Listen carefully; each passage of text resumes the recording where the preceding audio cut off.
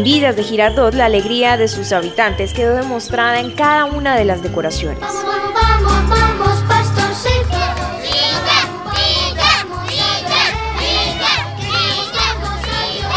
Nosotros nos enteramos por el noticiero del canal TRO y entonces hablamos con la gente del barrio para ver si nos uníamos y entre todos nos unimos con mero reciclaje y hemos arreglado el barrio con mero reciclaje. Vamos a Si hay un, un árbol en vasos, tenemos las estrellas todas hechas en botellas desechables y las iluminamos. Y hay CDs y hay muchas cosas de reciclaje en el, en el pesebre. En el portal de Belén hay estrellas, sol y luna. La Virgen Durante dos semanas, el grupo de vecinos se reunió para decorar sus hogares y además un mural con el logo del Café de la Mañana y un pesebre iluminado con la luna del Canal Tro.